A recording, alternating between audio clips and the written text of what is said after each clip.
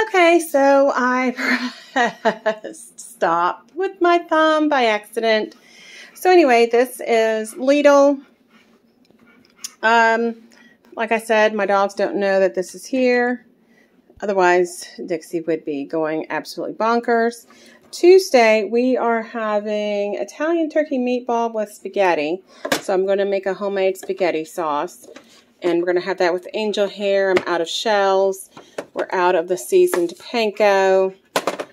Tonight we are having the same thing we had last week. My daughter loved it so much that she asked for it again this week. It is a sweet and spicy chicken wraps with, I just realized I don't have any coleslaw. I'm going to have to run back to the store. That goes with that.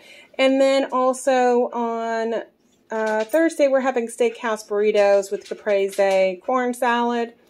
So I bought two of them, one for today and one for next week. I've got egg noodles. I'm out of egg noodles. We're having salads. I'm having a lot of salad this week. So I brought croutons for crunchiness. We are having banh mi rice bowl, which is my daughter loves.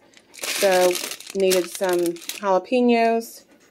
Parmesan for two things this week. One, the Italian turkey meatballs, and then the creamy spinach, creamy spinach chicken.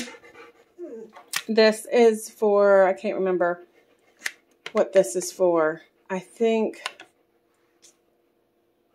uh, I think it's for a salad I'm making this week, but I can't remember.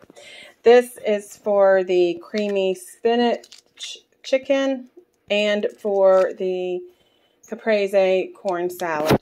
Like I said, I'm having a lot of salad this week, so I bought three packages of salad, of romaine lettuce. This is, oops, sorry. This is for the ground, no, the turkey. I, she realized I have treats up here. Um, the ground turkey chicken breast is for the Italian turkey meatballs. My bread, and I was so delighted at Lidl. They had cherries. Those will be gone. Then the uh, cucumbers for the salads and for the slow cooker banh mi rice bowl.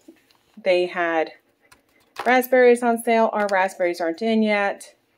This is for a salad that we're having on lunch.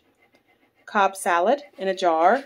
We're having a lot of tomatoes this week. We don't have any tomatoes in yet, so those would be good. And then our strawberries aren't in, but these look so good, so I went ahead and bought them. And of course, we got our chewy, um, our chewy shipment in, and of course the dog food is put up.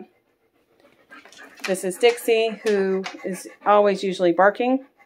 I hope everybody has a great weekend. Bye.